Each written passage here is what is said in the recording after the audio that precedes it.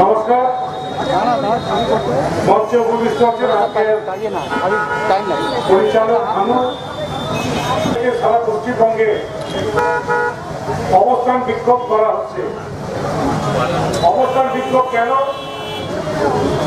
অবস্থান বিক্ষোভ হাজারো হাজারো ইস্যু থাকা সত্ত্বেও আজকের এই অবস্থান বিক্ষোভ মূলত আমাদের দেশে পেট্রোল, ডিজেল এবং রান্নার গ্যাসের দাম যেভাবে দিনের পর দিন বেড়ে যাচ্ছে, মানুষ রাস্তায় যাওয়ার ইচ্ছে থাকলেও এই করোনা পরিস্থিতিতে কোনো আন্দোলন হচ্ছে না। তাই আমাদের দল, আমাদের নেতা অভিষেক বন্দ্যোপাধ্যায় নির্দেশ দিয়েছিলেন যে পঞ্চাশ পঞ্চাশ জন করে হলেও বিভিন্ন জায়গাতে আমরা অবস্থান বিক্ষোভ করব আজকে এবং আগামীকাল। পেট্রোল এবং ডিজেলের দাম বাড়লে সাধারণ মানুষের সরাসরি কোনো অসুবিধা হয় না। কারণ গাড়ি যারা চাপে, তারা সাধারণ মানুষের থেকে আর্থিক দিক থেকে সচ্ছল। কিন্তু ডিজেল ডিজেলে বাস চলে, ডিজেলে ট্রেন চলে, ডিজেলে ট্রাক চলে। আজকে ডিজেলের দাম যদি বাড়ে, তাহলে যে ট্রাকে আপনার শাকসবজি আসছে, সেই শাকসবজির দাম বাড়বে। আজকে যদি ডিজেলের দাম বাড়ে, যে ট্রাকে আপনার চাল ডাল আসছে, সেই চাল ডালের দাম বাড়বে। ডিজেলের দাম যদি বাড়ে তাহলে যে সমস্ত খাদ্য ট্রাকের দ্বারা পরিবহন করা হয় সমস্ত জিনিসের দাম বাড়বে। এবং স্বাভাবিকভাবে ডিজেলের দাম বাড়ার ফলে আজকে বাজারে প্রত্যেকটা জিনিসের দাম অগ্নিমূল্য হয়ে গিয়েছে। প্রতিদিন চাল, ডাল, শাকসবজি থেকে শুরু করে সমস্ত জিনিসের দাম বেড়ে যাচ্ছে। যে ডিমের দাম আজকে থেকে ছ মাস আগে দু টাকা ছিল, আজকে সেই ডিম ছ টাকা, সাত টাকা, সাড়ে সাত টাকা দামে বাজারে বিক্রি হচ্ছে। সাধারণ যারা মানুষ, বিগত সাত বছরে বিজেপির শাসনকালে তাদের আর্থিক অবস্থার কোনো উন্নতি হয়নি।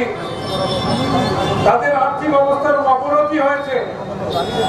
একের পর এক কলকারখানা বন্ধ করে দিয়েছেন মোদীর সরকার। আজকে সরকারি যে কটা সংস্থা ছিল, রেল থেকে শুরু করে সমস্ত সরকারি সংস্থা বিক্রি করে দিচ্ছেন মোদীর সরকার। স্বাভাবিকভাবেই যে সমস্ত পুঁজিপতিরা আজকে এই সমস্ত রেল থেকে শুরু করে বিভিন্ন সরকারি সম্পত্তি কিনছেন তারাও জিনিসের দাম বাড়িয়ে দিচ্ছে রেলের প্ল্যাটফর্ম টিকিটের দাম ছিল দু টাকা। আজকে মোদীর সরকার তা বাড়িয়ে দিয়ে করেছেন পঞ্চাশ টাকা। আজকে যে ট্রেন আমরা আসানসোল থেকে কলকাতা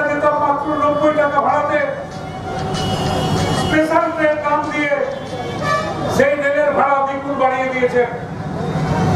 রেলের টিকিট, হাওয়াই জাহাজের টিকিট মতো যত কাছে কাটবেন, যত দেরিতে কাটবেন, রেলের টিকিটের দাম তত বাড়বে। কীভাবে মানুষের পকেট কাটা যায়?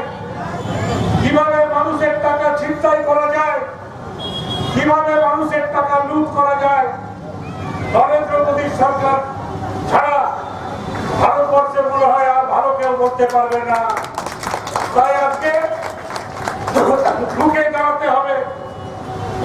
সাধারণ মানুষকে রাস্তায় নামতে হবে। আমি সারা পশ্চিমবঙ্গের মানুষকে ধন্যবাদ জানাই।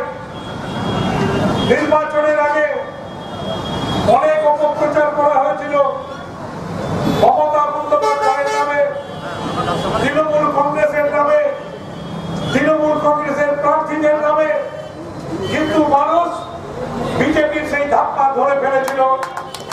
এবং তারা বিজেপিকে ভোট দেয়নি।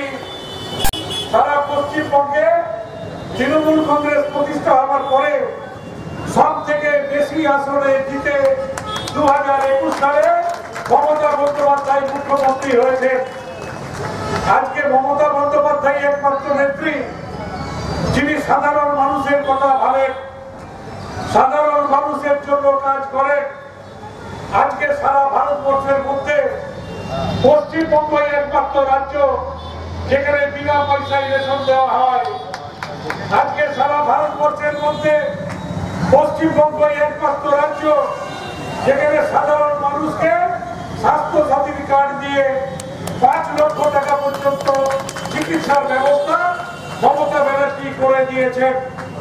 আজকে পশ্চিমবঙ্গই একমাত্র রাজ্য যেখানে সাধারণ ছেলেমেয়েরা যারা স্কুলে, কলেজে পড়েন, তারা যদি উচ্চ শিক্ষার জন্য টাকার দরকার হয়, অত্যন্ত কম সুদে দশ লক্ষ টাকা পর্যন্ত ধারের ব্যবস্থা এই সরকার করে দিয়েছে। আজকে এই সরকার কন্যাশ্রী থেকে শুরু করে যুবশ্রী থেকে শুরু করে সাথীর থেকে শুরু করে পদশ্রী থেকে শুরু করে চৌষট্টিটা প্রকল্প সাধারণ এই সরকার চালাচ্ছে এবং সাধারণ মানুষের ঘরে ঘরে আজকে এই সরকার পৌঁছে যাচ্ছে, এমনকি এবারে রেশন ব্যবস্থায়, রেশনের যে সামগ্রী আপনাদের বাড়ি বাড়ি পৌঁছে দেওয়া হবে, কাউকে রেশন দোকানে গিয়ে লাইন দিয়ে রেশন দেওয়ার দরকার হবে না। এই উন্নতির কথা, এই উন্নয়ন ভারতবর্ষে যদি কোন নেতা বা নেত্রী চিন্তা করতে পারেন, তার নাম কিন্তু মমতা ব্যানার্জি যিনি চব্বিশ ঘণ্টার মধ্যে আঠেরোটা ঘণ্টা সাধারণ মানুষের জন্য ভাবেন সাধারণ মানুষের জন্য কাজ করেন সাধারণ মানুষকে এগিয়ে যাওয়ার কথা বলেন তাই আজকে ডিজেল এবং পেট্রোলের প্রবৃদ্ধির বিরুদ্ধে, গ্যাসের দাম বৃদ্ধির বিরুদ্ধে যে আন্দোলন, এখানে তৃণমূল কংগ্রেসের প্রত্যেকটা ব্লকে ব্লকে হচ্ছে, আমি তাই ব্লকের সমস্ত কর্মীদের আমার তরফ থেকে আন্তরিকভাবে অভিনন্দন জানাই, শুভেচ্ছা জানাই, এবং আগামীকাল আরও বড়ভাবে, আরও ভালোভাবে ছাত্র এবং যুব সংগঠন এই আন্দোলন করবে বলে আমার কাছে খবর আছে। সেই আন্দোলনে আপনারা উপস্থিত থেকে অন্ততপক্ষে একটা বার্তা দিল্লির দরবারে পৌঁছে দিতে হবে যে ডিজেল পেট্রোলের দাম বাড়ালে মানুষ কিন্তু গর্জে উঠবে, মানুষ প্রতিবাদ করবে, মানুষ আপনাদের ছুঁড়ে ফেলে দেবে। এইটুকু কথা বলে সকলকে আমার নমস্কার, ধন্যবাদ জানিয়ে আমার বক্তব্য শেষ করছি। জয় হিন্দ, বন্দে মাতরম। তৃণমূল কংগ্রেস জিন্দাবাদ মমতা ব্যানার্জি জিন্দাবাদ।